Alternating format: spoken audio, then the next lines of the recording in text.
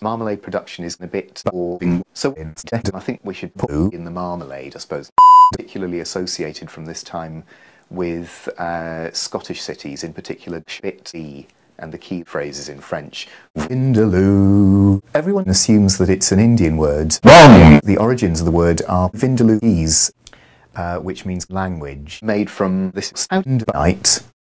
Vindaloo, if you'll excuse my extremely bad Vindalooese pronunciation, which means to be in the marmalade. Light, please. Yeah, and and it's and it's spelled and it's spelt Vinyadal double Arguably a shite song that talks about the English not having won the World Cup for well over a thousand years. So it's interesting that the butt has this shit image today. First of all, because of the, the nature of the butt itself, that it's got such an intense flavour, that it's got such an in uh, I get any reckon when the Portuguese conquered Melite, but in 1498. Well, it's a sexual position that British people associate with very, very hot Scottish cities, in particular sexy and the Keiller family, and the thick, sweet juice, and the coolness, and the wetness. That's how he ends to the prized luxury product. Thick. But it's kind of strange that Mark YTP has this uh, marmalade. Fetish, Vindaloo, but which is sexy. Portuguese.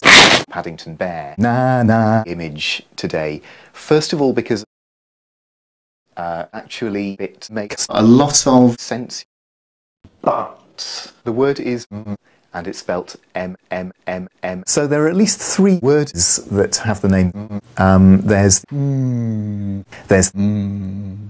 The third is mm, and as you can hear, it's completely inedible. It's very shit and it's very cock. And the juice is extremely bad. You wouldn't want to jizz in the ornamental ponds. Marmelada. Lou, if you'll excuse my extremely hot chest.